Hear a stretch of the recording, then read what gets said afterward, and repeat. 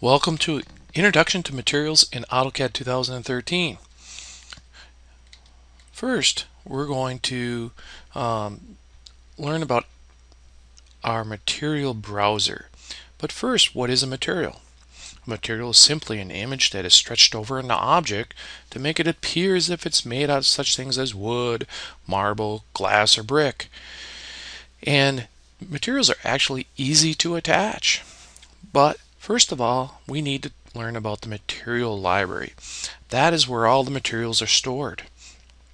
By default, AutoCAD has uh, the Autodesk Material Library installed.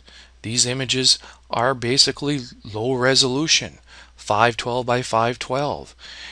And it's it's okay but if we want to do higher quality work, such as close-up work or large-scale modeling, we need to install the medium resolution image library. And that is an additional software option you must check when you're installing AutoCAD.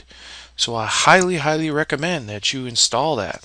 These images are 1024 by 1024 when we use these particular images. And to get our material, materials into our uh, drawing, we need to go up to the materials browser. The materials browser is found in the render tab.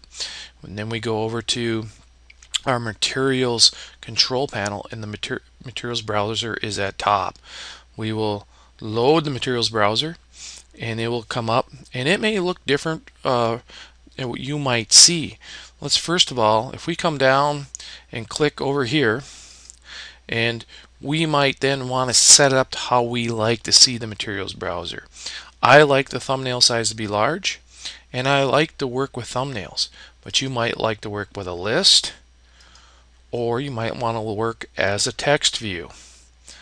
So, and you might also want to sort by name or by the type or colors or categories, etc. So I like it by the thumbnail view. I like to set up my palette, here my dialog box, uh, to be fairly big, uh, but not too big. I like not take more than half the screen personally. And I can stretch back and forth up and top, this is my document materials. Now these are all the materials that are used in the current drawing. So by default, we have a global material. And then down below is our Autodesk library. Uh, in the current library here, we have the various categories of materials. And we have the slider bar here. And in each categories, we actually have categories with nested categories that we can uh, fly out to more categories. Over here is our materials library. Uh, in this area we can preview all the different types of materials found in the category. So we have the two areas.